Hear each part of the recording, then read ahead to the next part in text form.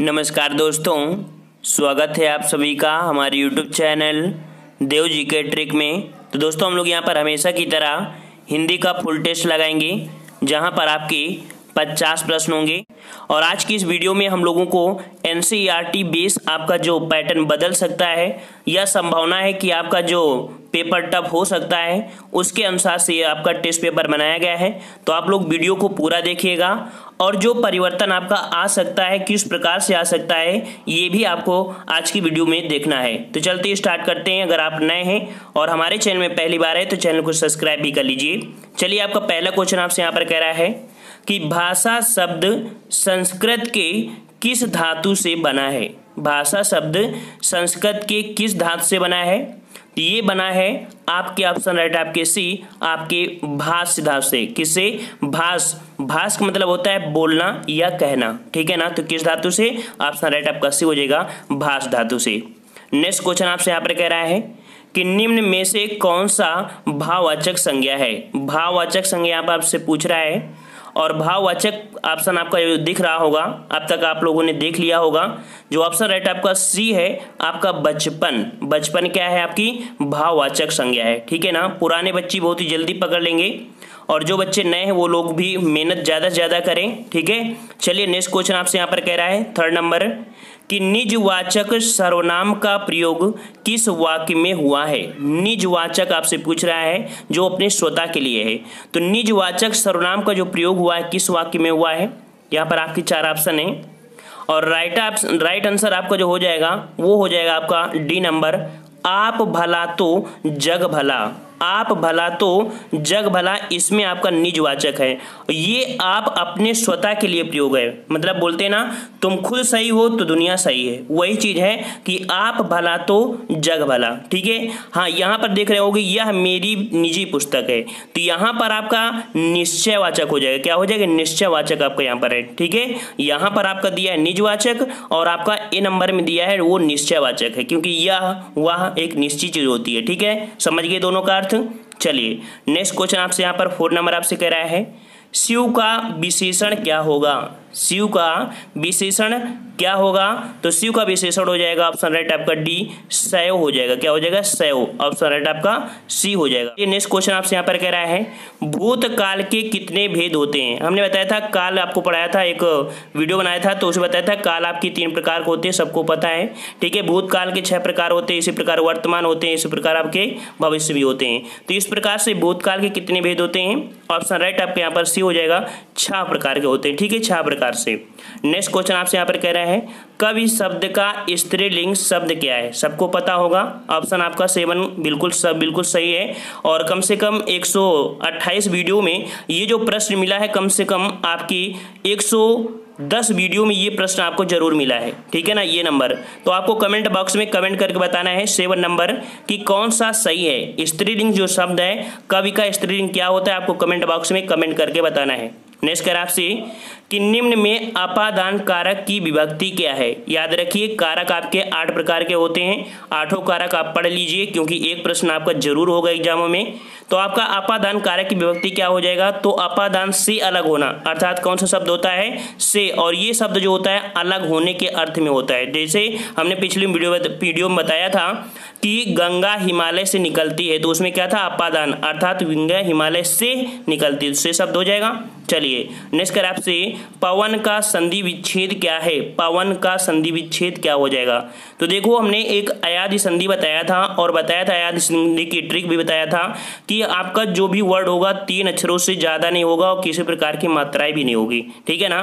तो नॉर्मल मात्रा आपकी होती जो आपकी ए आई ओ अ की मात्रा आपको नहीं होगी, जो कि आपको नहीं दिख रहा है। इस प्रकार से जो आपका ऑप्शन राइट है, वो आपका कौन हो जाएगा? इसे हम विच्छेद अगर करेंगे तो बजनेगा, बनेगा पो धन अन। क्या बनेगा? पो धन अन, अर्थात पवन हो जाएगा ऑप्शन राइट आपका यहाँ पर सी हो जाएगा, जो कि अयाधि संधि है, ठीक है? नेक्स्ट कर आपसे यहाँ पर कि यथाशक्ति शब्द में कौन सा समास है? यथाशक्ति शब्द में कौन सा समास है? तो एक एक और उदाहरण होता है प्रतिदिन। जिस प्रकार से प्रति शब्द आपको क्या है? एक अव्यय है। उसी प्रकार यथा शब्द भी यहाँ पर क्या है? एक अव्यय है। तो इस प्रकार से जो एक अव्यय होता है, वो आपके किसमें होता है? अव्ययी भाव समास में। यथा शक्ति मतलब शक्ति से भरपूर। तो यहाँ पर यथा शब्द जो है, यही आपका प्रधान है और यही आप कह सकते हैं इसी के कारण ये अर्थ चेंज हुआ। इस कारण से जो आपका समास होता है, वो आपको होता है अव्ययी भाव समास, जिसमें से पहला पद क्या होता है? प्रधान होता है ऑप्शन राइट आपका ए सही हो जाएगा। नेक्स्ट कर आपसे यहाँ पर कि निम्न में से कौन छायावादी कवि हैं? कौन छायावादी कवि हैं? ये आपके कौन से हैं? यहाँ पर आपके चार ऑप्शन हैं। राइट आंसर आपका हो जाएगा यहाँ पर डी नंबर जय शंकर प्रसाद। ठीक है जय शंकर प्रसाद आपके छायावादी कवि हैं। अब यहाँ पर क्वेश्चन जो आपको मिलेंगे, वो आपके काफ़ी अच्छे क्वेश्चन हैं। चलिए कह रहे आपसे बारह नंबर कि कविता में मुक्तक छंद का प्रयोग किसने आरंभ किया था?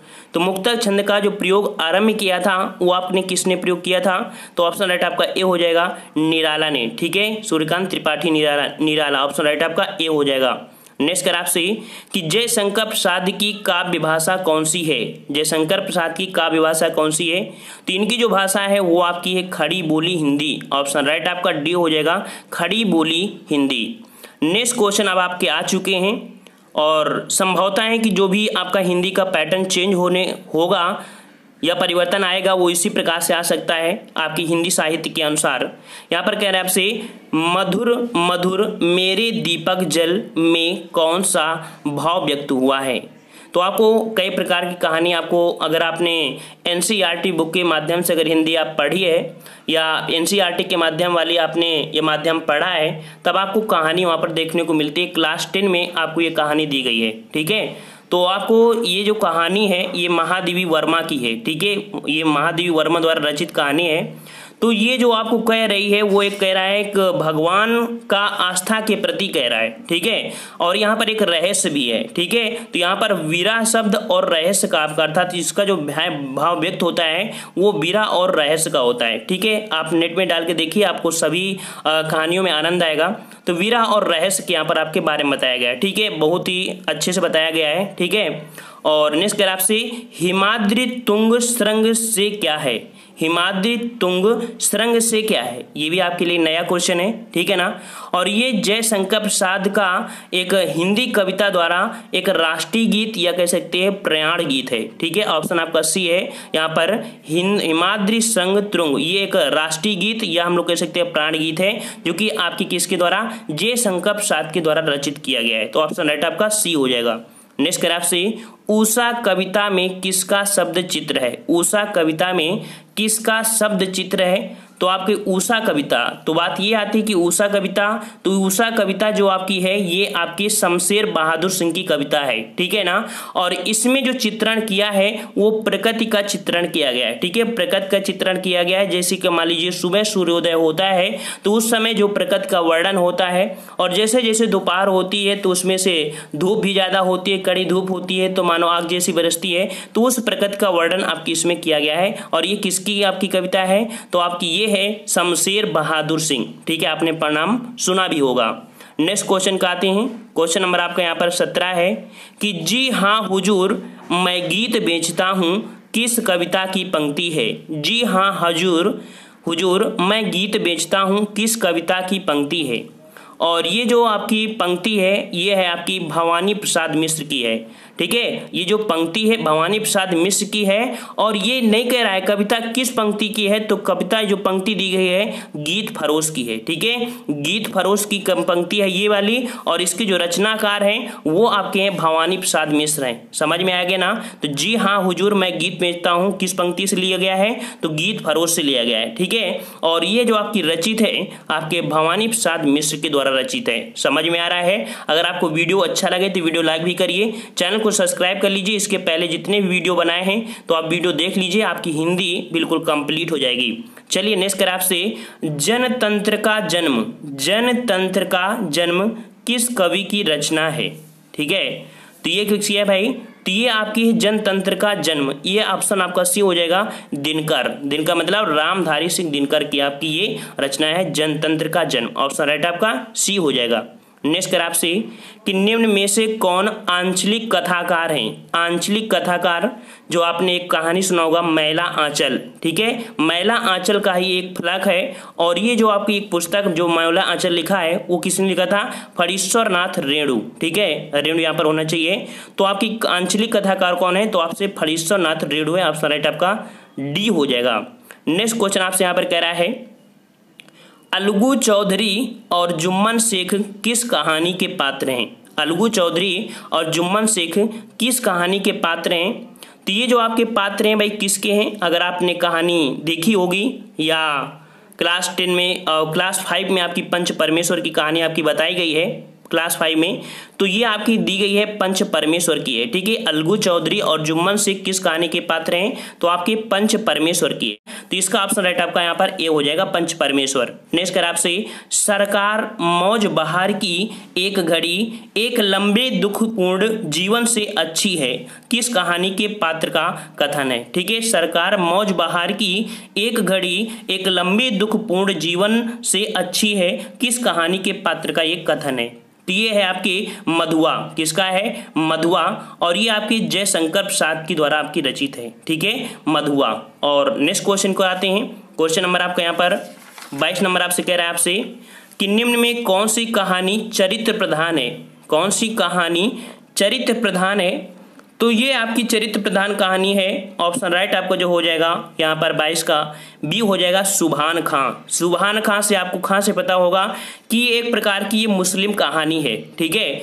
और इसमें से एक छोटा बच्चा होता है और एक बूढ़े बुज़ुर्ग होते हैं। तो इसमें से जो बच्चा होता है, वो क्या करता है? अपने बूढ़े बुज़ुर्ग से पूछता है कि अल्लाह कहाँ है या भगवान कहाँ है? तो वो जवाब देते हैं कि अल्लाह तो चारों तरफ़ है, हर दिशाओं में है। तो इस समय बच्चा एक अच्छा क्वेश्चन करता है कि अगर आप अल्लाह को हर जगह बताते हैं तो आप लोग पश्चिम की तरह अल्लाह या नमाज़ क्यों पढ़ते हैं? ठीक है ना? तो उस समय वो जवाब देते हैं कि पश्चिम की तरह, तरफ़ से ही हमारे अल्लाह का प्रवेश आपके भारत में हुआ था। और आप सबको पता है कि भारत में इस्लाम धर्म का प्रवेश पश्चिम भारत में ही हुआ था। ठीक है? इस कारण से मानते हैं कि पश्चिम की दिशा है। ये मतलब कहानी आपकी सुबहान खां की है। समझ में आ रहा है ना? अगर आपको समझ में आ रहा है और वीडियो अच्छा लग रहा है तो लाइक करते जाइए। नेक्स्ट कर आपसे दिल्ली में एक मौत किस कहानीकार की रचना है? दिल्ली में एक मौत किस कहानी की रचना है? तो ये कहानीकार की रचना किसकी? ऑप्शन राइट आपका हो जाएगा। ऑप्शन आपका सी, कमलेश्वर की कहानी है। ठीक है, कमलेश्वर की कहानी है, दिल्ली में एक मौत।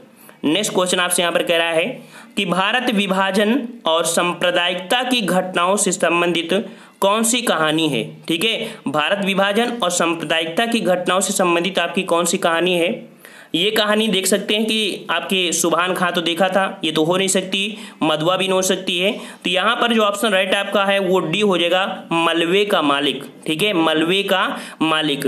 और ये कहानीकार जो लिखे हैं, वो आपके मोहन राकेश ने लिखा है, ठीक है? किसने? मोहन राकेश ने लिखा है, भारत विभाजन सांप्रदायिकता की घटना, ठीक है? और इसके जो, कह सकते हैं, इनकी घटनाओं से संबंधित कहानी है, वो आपके मलबे का मालिक है, ठीक है? भारत विभाजन से। नेक्स्ट कर आपसे, वापसी कहानी में किस पात्र की वापसी का ज़िक्र है? एक कहानी है वापसी। और इसमें जिस पात्र का वर्णन किया गया है या ज़िक्र किया गया है, किसका किया गया है? ये किया गया है आपके गजाधर बाबू को। ठीक है, किसकी? गजाधर बाबू का वर्णन किया गया, या कह सकते हैं ज़िक्र किया गया है। तो वापसी कहानी है किसकी? तो ये वापसी कहानी है प्रियंका वदा ठीक है, प्रियंका वदा। ऊषा प्रियंका वदा। क्या है? ऊषा प्रियंका वदा की ये कहानी है, ठीक है? आपकी जो वापसी का है तो गजाधर बाबू है। दोनों ही पॉइंट समझ में आ गया। चलिए नेक्स्ट क्वेश्चन अब आपको यहाँ पर आ जाएँगे। थोड़ा सरल पोर्सन हो जाएगा, ठीक है ना? ताकि टेस्ट पेपर में आपके काफ़ी मार्जिन आता भी रहे। नेक्स्ट कह रहा आपसे यहाँ पर, शुद्ध वर्तनी वाला शब्द कौन सा है? हमने अपने पिछले वीडियो में आपको बताया था कि जो सुसुप्त होता है, वो किस प्रकार से होता है? सही किस प्रकार से लिखते हैं? तो सही लिखते हैं हम लोग सुसुप्ति ऑप्शन राइट आपका डी हो जाएगा। नेक्स्ट कर आपसे, शुद्ध शब्द कौन सा है? शुद्ध शब्द कौन सा है? यहाँ पर सचिदानंद दिया गया है। और जो सचिदानंद सही होगा, वो ऑप्शन आपका बी हो जाएगा सचिदानंद ऑप्शन आपका बी हो जाएगा। नेक्स्ट कराया है उत धन हार के योग से कौन सा शब्द बनेगा? उत धन हार तो कौन से बनेगा? आपका ये बनेगा, उद्धार बनेगा। ठीक है ऑप्शन राइट आपका डी हो जाएगा। नेक्स्ट द्रगंचल का सही संधि विच्छेद है। द्रगंचल। और द्रगंचल जो कि आपकी व्यंजन संधि के रूल के अनुसार का का परिवर्तन आपके गा में होता है। वही परिवर्तन है का का गा में या गा का का में हो जाएगा। तो यहाँ पर आपका द्रगंचल को जो आपको परिवर्तन होगा, आपका हो जाएगा सी द्रक धन अंचल हो जाएगा। सी नंबर हो जाएगा। नेक्स्ट कर आपसे निम्नलिखित में से कौन सा शब्द स्त्रीलिंग है? कौन सा शब्द स्त्रीलिंग है? तो यहाँ पर आपका जो स्त्रीलिंग शब्द है तो आप देख सकते हैं कि ये आपका हो जाएगा आपका ए नंबर मंत्रिणी। ठीक है? क्या हो जाएगा? मंत्रिणी। हमने यहाँ पर बताया था स्त्रीलिंग और पुरलिंग की ट्रिक क्या होती है। जैसे मान लीजिए कि कैसा और कैसी किसी चीज़ पर प्रश्न किया जाए, जैसे मान लीजिए पानी। पानी कैसी है कभी बोलते हैं? नहीं बोलते हैं ना। बोलते हैं, पानी कैसा है? तो कैसा शब्द क्या प्रतीत कर रहा है? पुरलिंग कर रहा है। ठीक है? छाता कैसा है? कैसी तो नहीं बोलते ना, इस प्रकार से। भक्त कैसी है? नहीं बोलते, भक्त कैसा है? चंचु कैसा है? इस प्रकार से। मंत्रिणी, ये आपका सीधे सीधा दे दिया गया है। समझ में आ रहा होगा? चलिए नेक्स्ट क्वेश्चन आपसे कह रहा है। कि इकतीस से पैंतीस तक प्रश्न में एक वाक्य या पदबंध दिया गया है, जिसके लिए लिखे गए चार शब्दों में से एक उपयुक्त शब्द का चुनाव कीजिए। कह रहा आपसे यहाँ पर इकतीस नंबर कि जिसके आने की तिथि ज्ञान ना हो, जिसके आने की तिथि ज्ञान ना हो, या मतलब यहाँ पर ज्ञात ना हो। यहाँ पर आपके क्या लिखा होना चाहिए? ज्ञात ना हो, उसे क्या बोलते हैं? उसे हम बोलते हैं अतिथि बोलते हैं, ठीक है? क्या बोलते हैं उसे? अतिथि बोलते हैं। नेक्स्ट कर आपसे, आवश्यकता से अधिक वर्षा होना। आवश्यकता से अधिक अधिक वर्षा होती है, आवश्यकता से अधिक उसे बोलते हैं अतिवृष्ट। मतलब बाढ़ अगर, बाढ़ वगैरह आ जाना, अतिवृष्टि, ठीक है? और अगर वर्षा का अभाव हो या सूखा हो तो उसे या कह सकते हैं बहुत ही कम वर्षा होती है, उसे बोलते हैं अनावृष्टि बोलते हैं। दोनों बात समझ में आ रही है ना? अनावृष्टि क्या होती है? अति मतलब ज़्यादा हो गया, ठीक है? और अना मतलब कम हो गया। समझ गया ना? तो आवश्यकता से अधिक बारिश होती है, उसे अतिवृष्टि बोलते हैं, और आवश्यकता से कम बारिश होती है तो आपकी अनावृष्टि बोलते हैं। दोनों बात समझ में आई? चलिए नेक्स्ट कर आपसे, जो वस्तु खाने योग्य हो, जो वस्तु खाने योग्य होती है, उसे यहाँ पर देखो चार ऑप्शन कन्फ्यूज़ के लिए दिया है। भोजन, अन्न, खाद्य, अखाद्य। तो जो वस्तु खाने योग्य होती है, उसे हम लोग खाद्य बोलते हैं। क्या बोलते हैं? खाद्य। और जो वस्तु खाने योग्य नहीं होती है, उसे हम लोग अखाद्य बोलते हैं। ठीक है ना? चलिए नेक्स्ट क्वेश्चन आपसे यहाँ पर कह रहा है कि जो कवि तीक्ष्ण या पर तक्षण या तुरंग कविता कर सके, जो कवि तक्षण या तुरंग कविता कर सके, उसे क्या बोलते हैं? तो उस कवि को आशु कवि बोलते हैं। क्या बोलते हैं? आशु कवि बोलते हैं। नेक्स्ट कर आपसे आकाश में विचरण करने वाला, जो आकाश में विचरण करता है, उसे क्या बोलते हैं भाई? तो उसे हम लोग बोलते हैं आकाश मतलब नवचर। ऑप्शन राइट आपका? डी हो जाएगा। नेक्स्ट कर आपसे यहाँ पर कि प्रश्न संख्या 36 से 38 तक निम्नलिखित प्रत्येक प्रश्न के उत्तरों में से सही उत्तर का चयन करना है। कर आपसे, काहे री नालिनी तू कुम्हलानी, किस कवि ने लिखा है? काहे री नालिनी तू कुहलानी ये किस कवि ने लिखा है? तो जो आपकी पंक्ति है, ये आपके लिखे हैं कबीर दास ने, ठीक है? कबीर दास ने लिखा है ऑप्शन राइट आपका सी हो जाएगा कबीर दास ठीक है? नेक्स्ट क्वेश्चन आपसे कह रहा है आपसे, गबन के रचनाकार, गबन के रचनाकार आप लोग जान जानते हैं कि प्रेमचंद की आपकी है, मुंशी प्रेमचंद की, गोदान गवन सेवा सदन, निर्मला, ठीक है? इस प्रकार से है। तो आपके गबन किसकी है? प्रेमचंद, मुंशी प्रेमचंद। नेक्स्ट कर आपसे, उसने कहा था क्या है? हमने कई बार इसको आपको बताया है कि उसने कहा था, ये आपकी एक कहानी है, जो कि चंद्रधर शर्मा गुलेरी की है, ठीक है? उसने कहा था किसकी है? चंद्रधर शर्मा गुलेरी की है। और ये जो आपकी कहानी है, वो आपकी 1960 ईस्वी में ड्रामा फ़िल्म के नाम से रिलीज़ हुई थी। ठीक है? आप देख सकते हैं, उसने कहा था, आप डालिए, आपको आ जाएगा। 1960 में ड्रामा फ़िल्म आपकी है, जो कि आपकी रिलीज़ हुई थी। ठीक है? ये आपकी कहानी है। ठीक है? क्या है आपकी कहानी है? जो आपके चंद्रधर शर्मा गुलेरी ने लिखी है। नेक्स्ट क्वेश्चन आपसे यहाँ पर कह रहा है कि प्रश्न संख्या उनतालीस से पैंतालीस तक, निम्नलिखित प्रत्येक प्रश्न में दिए गए चार विकल्पों में से प्रत्येक प्रश्न के ऊपर निर्दिष्ट के समास वाले शब्द आपको दिए हैं, यहाँ पर आपको समास आपको बताना है। ठीक है, क्या बताना है आपको? समास बताना है। कर आपसे कर्मधारे समास, देख लीजिए, यहाँ पर आपका कर्मधारे समास है कौन? तो कर्मधारे समास आपका कौन हो जाएगा? ऑप्शन राइट आपका फ़र्स्ट हो जाएगा नील कमल नील कमल तो यहाँ पर देखो, नील शब्द आपका क्या दिया है? विशेषण है, कमल आपका विशेष है। और जहाँ पर विशेष विशेषण होता है, अर्थात तुलनावाची होता है, वो आपका कर्मधारय समास होता है। ऑप्शन राइट आपका ए हो जाएगा, ठीक है? बहुत ही बच्चों के कमेंट आते हैं कि सर, वीडियो को सर 19 मिनट से 20 मिनट बनाइए। लेकिन ये बताइए, अगर 20 मिनट का हम वीडियो बनाएँगे तो वहाँ पर आपको समझा के आ पाएँगे? तो इसका मतलब यही है कि आप जल्दी जल्दी बस निशान लगाते चले जाइए। तो ये अच्छी बात नहीं है। अगर उसे दस, पाँच मिनट और समय देंगे तो अच्छे से हम डिस्क्राइब भी कर सकेंगे। ठीक है ना? तो पच्चीस मिनट का वीडियो कम से कम पच्चीस, तीस के बीच में तो पचास प्रश्न हम सॉल्व कर सकते हैं। नेक्स्ट कर आपसे बहुबरी समास बताइए। बहुबरी समास देख लीजिए किसमें है। तो बहुबरी समास का मतलब ये होता है, ना ही प्रथम पद प्रधान हो, ना ही अंतिम पद प्रधान हो, इसका मतलब उसका तीसरा पद प्रधान हो। ठीक है? प्रथम द्वितीय ना हो, तीसरा प्रधान हो, वो आपका होता है लंबोदर, अर्थात आपका कह सकते हैं विशेष अर्थ आपको बताता है। तो लंबोदर मतलब गणेश भगवान के लिए बोला गया। ऑप्शन राइट आपका, यहाँ पर बी हो जाएगा। नेक्स्ट कर आपसे द्वंद्व समास द्वंद्व समास आपसे पूछा है, यहाँ पर चार आपके दिए हैं। आपका नीलकंठ दिया है, खरा खोटा भी दिया है, चरण कमल भी दिया है और नरसिंह दिया है। तो यहाँ पर देखिए, नील कमल तो आपका तो आपने देख लिया कि कर्मधारय का था तो ये तो हो नहीं सकता है, ठीक है? यहाँ खरा खोटा, खरा या खोटा, खरा और खोटा, यहाँ पर इस चिन्ह जो आपको दिया है, ठीक है, बीच में योजक चिन्ह तो ये यो योजक चिन्ह आपको दर्शा तो रहा है, लेकिन इसका अर्थ भी आपको पता होना चाहिए, या तो या लिख सकते हैं इस चिन्ह का, या तो और और खरा या खोटा, खरा और खोटा, ये कह सकते हैं। तो इस प्रकार से ऑप्शन राइट आपका बी हो जाएगा, खरा, खोटा में आपकी द्वंद्व समास है, ठीक है? द्वंद्व समास, दोनों ही पद प्रधान आपके होने चाहिए। अच्छा यहाँ पर सी आपको दिया चरण कमल। चरण के समान और के समान या रूपी शब्द हमने आपको बताया था कि कर्मधारय समास में होते तो ये भी आपका जो है कि आपका द्वंद समास नहीं होगा, ये कर्मधारय है। नरसिंह भी आपका क्या है? कर्मधारय है। इस प्रकार से राइट आंसर आपका जो हो जाएगा, वो आपका बी हो जाएगा। खरा खोटा में आपका द्वंद्व समास है। ठीक है? नेक्स्ट क्वेश्चन आपसे कह रहा है, तत्पुरुष समास।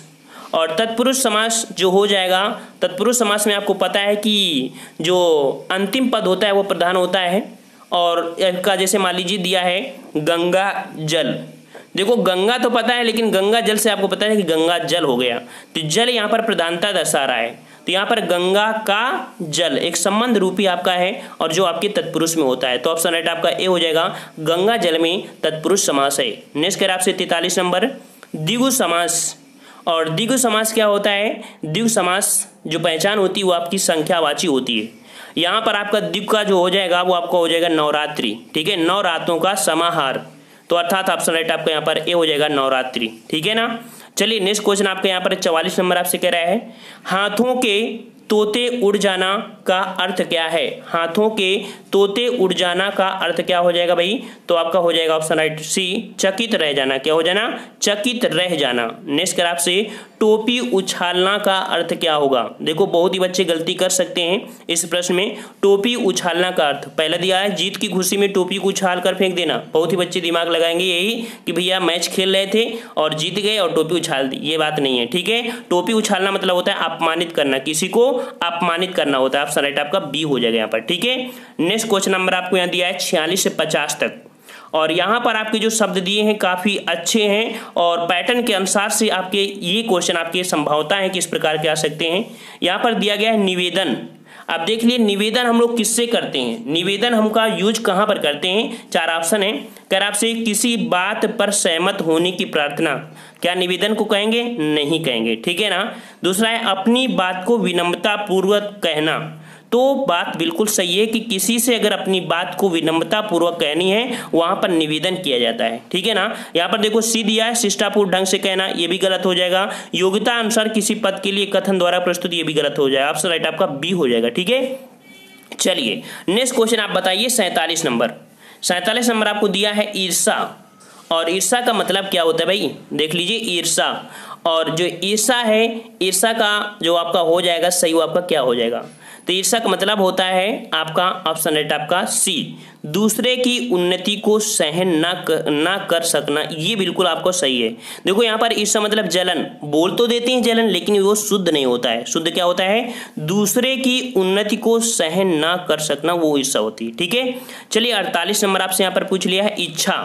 देख लीजिए भाई इच्छा बिल्कुल से सिंपल है लेकिन इच्छा होती क्या है? पहले आपसे कह रहे हैं, वस्तु को प्राप्त करने की तीव्र इच्छा। तो भाई, जब तीव्र इच्छा लगा दिया है तो इसका कोई मतलब ही नहीं निकला, ठीक है? दूसरा आपसे कह रहे हैं, किसी वस्तु को चाहना, बिल्कुल बात सही है, किसी वस्तु को चाहना ही आपकी इच्छा होती है, ठीक है ना? यहाँ पर अदर आपके सभी ऑप्शन गलत है राइट आंसर आपका यहाँ पर बी हो जाएगा, किसी वस्तु को चाहना ओके चलिए, उनचास नंबर आपसे कह रहा है, प्रणाम। और प्रणाम भाई, किससे करते हैं या कैसे करते हैं? यहाँ पर दिया है, नमस्ते। क्या नमस्ते बोलेंगे? नहीं बोलेंगे ना? सम्मानी व्यक्ति को हाथ जोड़ना, अपनों से बड़े को अभिवादन करना, समान अवस्था वालों को स्वागत करना। तो भाई, उनचास नंबर हमने आपको बता दिया, ये तो नहीं होगा। अब तीन में आपको कमेंट बॉक्स में कमेंट करके बताना है। देखिए तो आप लोग की आईक्यू कितनी सही है? आप लोग क्या जवाब इसका दे सकते हैं? ठीक है? और लास्ट क्वेश्चन जो आपका पचास नंबर है कर आपसे सुहृदय जो सुहृदय बोलते हैं, वो किसके प्रति बोलते हैं? आपका दिया है आत्मीयता रखने वाला, साथ रहने वाला, समन्वय समवयस्क या मित्रता रखने वाला, या सुंदर हृदय या व्यवहार वाला। तो जो सूर्योदय बोला जाता है, वो आपको किसके लिए? मित्रता रखने वाले के बोलते हैं, ठीक है? तो आपका पचास क्वेश्चन आपका सी हो जाएगा।